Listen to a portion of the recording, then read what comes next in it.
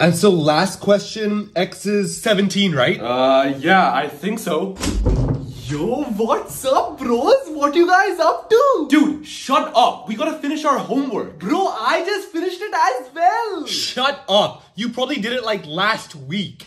No, dude. Muthu, you are the biggest teacher's pet I have ever met. You're capping, bro. You literally fondle Mr. Ravi's balls, dude. That's so not true. Arnav, just watch today's class, yeah? Bet. Okay, everyone. So can anybody tell me what the Pythagoras theorem is? Watch Muthu, yeah? Bro, see, I don't care. Nobody knows?